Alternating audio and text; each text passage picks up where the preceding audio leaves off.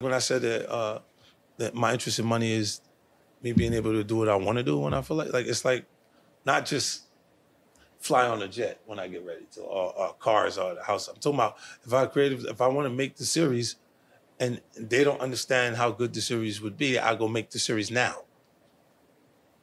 I got the writers, I put the thing together, I produce it, I make the series. But now that you could you couldn't see it, you can license it and I can have the money after a few years you just reverts back to me.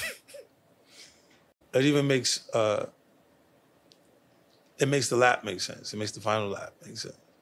Because when we when you uh look at the income off of it, it makes all of the things that I do on the other side minor for the year.